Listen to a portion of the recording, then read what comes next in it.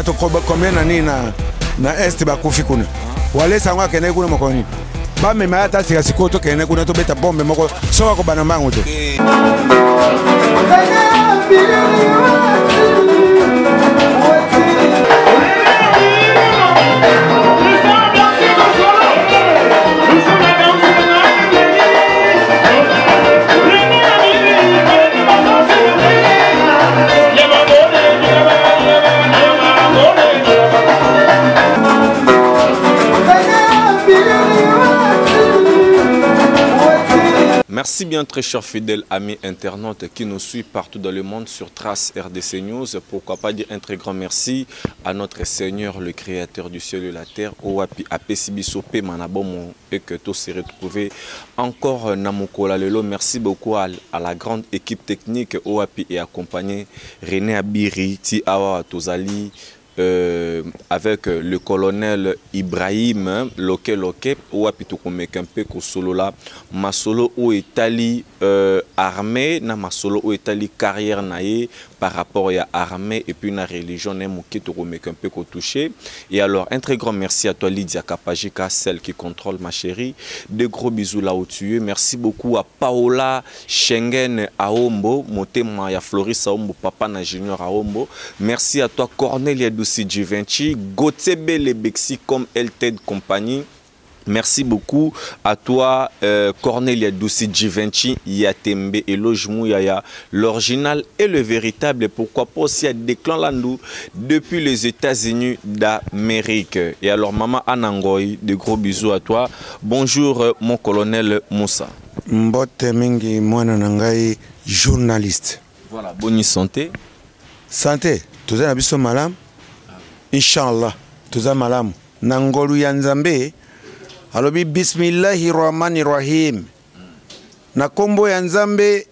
eloko nyonso eza kopema eza kotelema na nguya ya nzambe voilà. merci beaucoup euh, mon colonel moussa c'est vraiment une fierité pour nous et que ozali na kati ya armée et puis oyebi liloba ya nzambe mm. et alors euh, kozala nao na kati na armée ezwi yo bambula boni eh, ezwi nga bambula ebele ah, oui. 1964 nakoti na armée 1964 alors famille ezalaki d'accord famille na ngai oui. ah, ezali volonté na biso nga nazali mongala eh?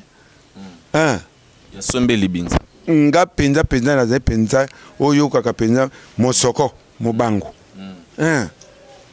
nakoti armée volonté na ngai nde nasengaki moto te natali ti peut-être po kuna mwa baguerre ezalaki mpe mwa trop ekozala bakotisaki yo armée par force inconscient et tout ngai nazalaki na inconscient moko te na famille ha natelema nalobi koko mama tata nga ke mosala na soda babi eza volonté na kende bisimila kende eske na temps wana osilisaki classe to mpo ozalaki da na age nini na, na 14 nakoti armée donc mineur nazalaki mineur ozalaki mineur okoti na kati ya moto akosi nga armée général esomao gbodombele donc c'est que ao mérite soki aza ma mutu donc c'est que ao mérite bakanga ye mpo akotisa o mineur donc mineur déjà kosimba minduki ozali na lokuta te mineur kosimba déjà minduki yoka yoka na ntango biso eza kokola mm.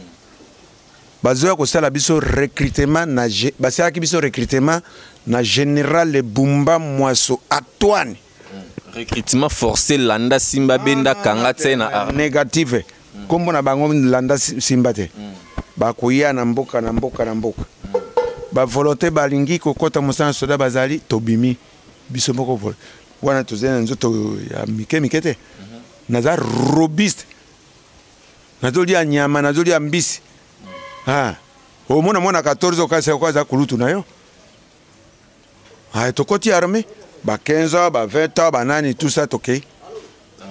Ah oui. Et alors, et alors euh, pasi na yo vraiment ezalaka nini tout au long ya carrière na yo na kati ya armée pasi na yo ezalaka nini soki otali vie na yo elo nini vraiment esalaka vraiment pasi ntango otala ma armée mm. na vie na yo otali bana na yo pasi no ezalaka nini ngai nasepelaka lokola biso nyonso tozali kuna na kati na armée tozali na pasi eh? tozali mpe na bisengo mpasi na biso ezali bisengo na biso ezali ndenge moto nyonso avivraka ngai namonaka mpasi moko kuna te ngai nazalaka kocerne kaka na subhanallah wa taala mokolo alingi kozwa ngai azwi mokolo alingi kotika ngai atiki mais quand même euh, tout au long toujours ya carrière na yo na mutu na oza quand même na mwa lisolo moko ya événement moko eleka ntango mosusu na, na moment ya guerre moko boye ou wapi etombaki no soit ndeko no moko soit frère no moko bozalaki nde na kati ya armée mm. atikalaki azongaki te mais bino bozongaki vivant omoni mosala na soda mm. oye volontairement Est ce que na ba guerre ya 40 ya 45 bato nyonso bazongaka? bamosusu batikalaka batikalaka po ah, batikali pourkui soki masasi masasi ezali kopona elongi na moto ou bien ezali na direction moko ezokende ah, ezokende kaka epai ya ibrahim e eh, ti ezwi yo te lisasi lisasi zongisela mpe moninga te oyo oh, kuna mondele mpe atikali yo mpe otikali bao bakolonga balongi oyo ba gagne ba gagne oyo ba gagne te bazongi te Voilà. voilà. Et alors, euh, ce que tout comprendre, mm. ndenge bukendara toujours kana ba fond, mm. ba place moko na kaka ba bitumba. En réalité vraiment ezalaka nini colonel Ibrahim bitumba ngo bogenda ko bunda bobunda contre banani. Nalobi hein. Mm. Nani mondele oyo babenge poso ya pembe. Mm. Atika base oyo ezali awa. bomengo oyo ozali nango ozo kokoka koexploite yango te hmm. petrole ezali bakotikela yo yango hmm. te natuni motuna nde bango nde bazoya kotya trouble mais bakotika oyo aleze te hmm. ti okokota na mabele otiki bango bavandi koko na ngai azalaka na chine eh. tata na ngai nde belge oyo abokoli biso mais tozali bana allemand abotola ba belge abotola ba france banini tout ça aye kotonga ti na mboka na biso na congo mais comment que possible ke lelo oyo boye yo belge olinga kotala bana na yo te banyokolaka bango voilà merci beaucoup colonel ibrahim et alors euh, na kotala boye touti koleka na changement ya ya baprésident de la république oyo oyo wapi euti kosalema entre le président sortant joseph kabila esi na le président entrant félix tshilombo tshisekedi et alors changement wana par rapport na bino na armée e apportele bino euh, quand même une bosentir changement yango ou bien comment moto abongisaki makambo nyonso wana ezali nzambe euti na nzambe subhanallah watala ndenge apesaki yango na david ndenge apesaki yango na Ibrahim alayhi wa salam ndenge apesaki na ba mikonzi oyo ya kala wana mm. ba Salomon mm. mais soki pe mokolo ekoki nzamba tozoloba makambo ya changement ya vie sociale ya par rapport na bino bato bozali babateli ya mboka parce que ndenge bozalaka bozalaka na droit kobima mboka te boza kaka toujours awa na ekolo ya congo kobatela babiloko ya bato kosurveille koyeno te monguna akota te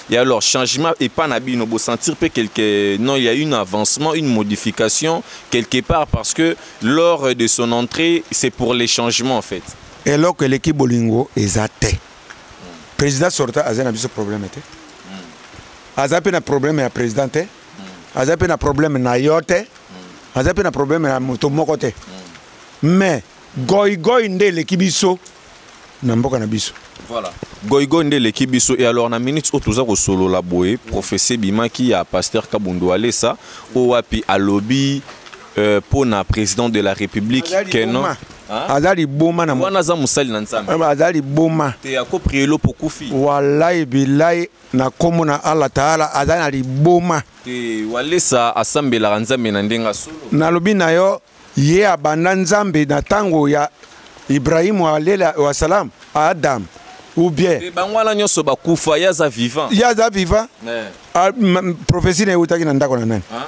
eutaki epai nani révélation epai révélation epai ya nani c'est pas nzambe azobatela aza malade avertir président aza asa nini avertir ye na danger parce que nzambe nda révélé namoni ke akomi na danger ce type là hein prophète na bino wana Ah, prophetie na ye ekomeli ye na danger te falaki nde ke bino nde armée bosangani bokende na église ya pasteur walesa atya bino mpe maboko mpo ya bozokende bitumba bolongaka mpe nango abela ata kobele bato combien na nini na, na est bakufi kuna ah. walesa yango akendeki kuna mokolo nini bamema ye ata sika sikoyo tokende kuna tobeta bombe moko soki akobana mbango te eh, voilà bocomprendre kaka ke no mbula ezobeta a na kinshasa donc euh, tozalaki koloba Euh, pasteur walesa oyo wapi azali moto na nzambe mosali na nzambe oyo ayebani oyo atondi bambongo ebele ozosalela nzambe aosala bamiracle bato baomona loboko na ye apesi profesi bino bandeko ya arme bondima yango mpe na kimya na bakambi ya mboka nalobi na yo boye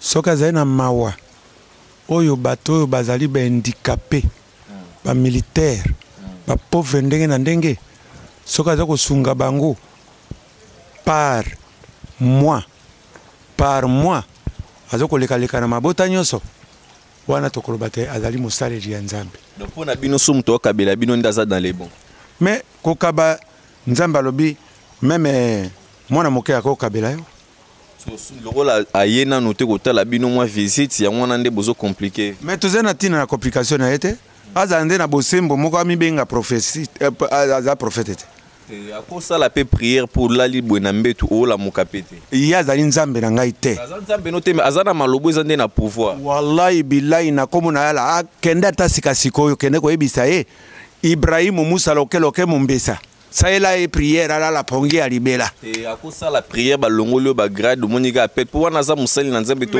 batémoignage ngai okosala kaka auzubillahi mina zwalika ndako na eziki ndako anani ezika ya ye walesa allahu akbar eh, ndako walesa ekozika te haula wala angelu na nzambe baza bazoprotege ayebi ange nani ayebi elongi na ye ye ayebi elongi na ange baza ba ange gabriel asi amonaki ye mokolo nini ange gabriel amonaki ye mokolobaparaîtrakati allahu akbar tika moto wana eh. mm. soki azali na makambo ne mosusu ya mokili mm. asalela yango dunia akotika yango nyonso mpo na nini nalalaka si mpongi balobi ke eza nango kaka complexe parce que église ne eza kitoko makasi koleka bamoske nyonso tu oyo ezalaka awa na kati ya congo ah, biso eza ntina kitoko na ndako nzambe na ye te biso eza na ndako nzambe na biso komo nango la ilaha illallah Muhammad Rasulullah esili mais est-ce que azana bandimi ebele koleka islam kondima islam ezali kondima motema ne ezali bosembo mais yo akota lola ah akota lola mokolo nini ye na nzambe bakutanaki mokolo nini azokende okota lola Voilà, merci beaucoup. Donc, euh, mon colonel euh,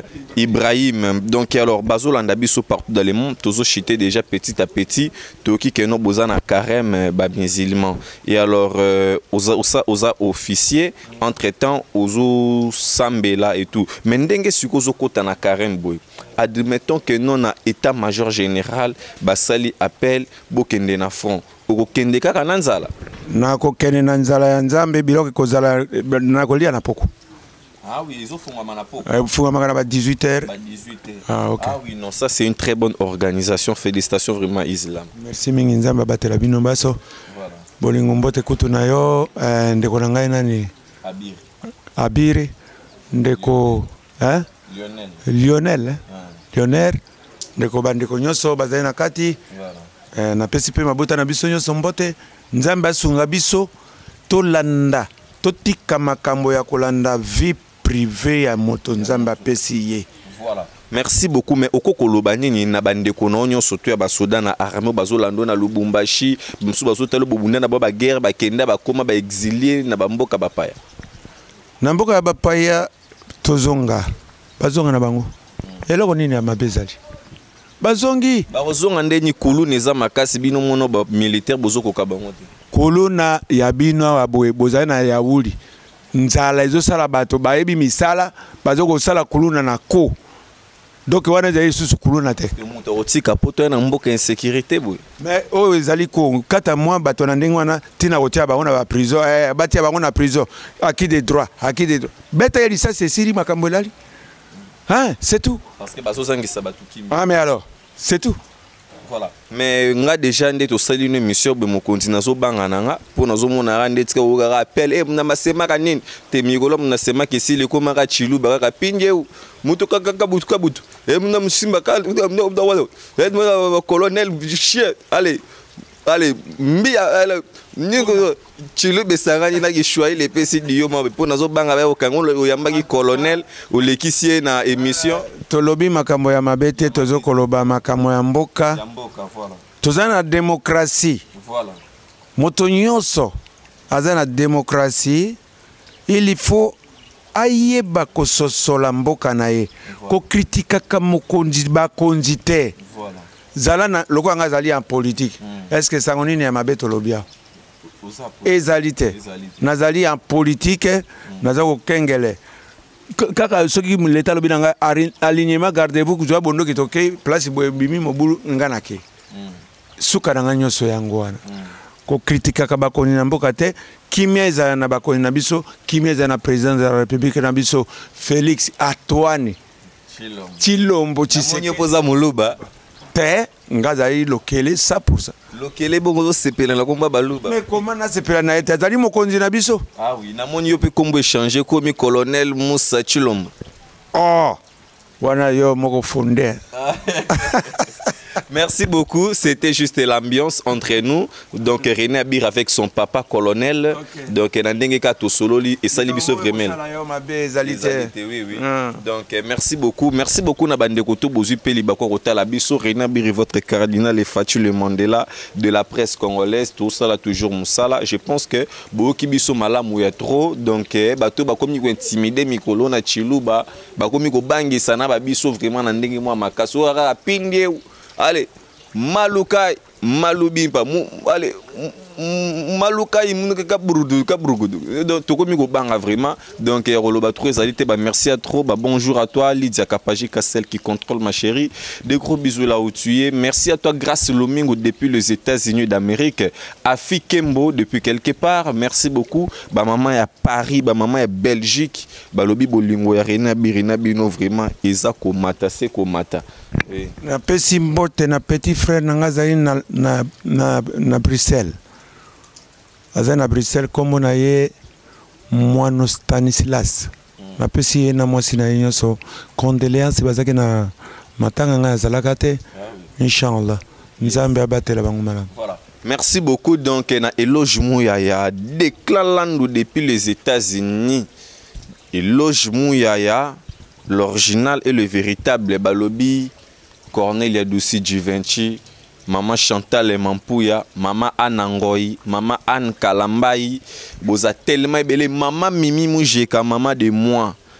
Eh, ma mimi mujeka mama na chris kalanda donc merci beaucoup donc bomoni déjà nde rena bir atelemi par rapport à spertige donc rena bir bien mokonzi na nsima donc esali vraiment kitoko makasi merci beaucoup allez voilà mwana nanga moko ah. nani moto akende tuna yo yo Merci beaucoup, c'est un plaisir. On se retrouve à la prochaine numéro. Bye bye.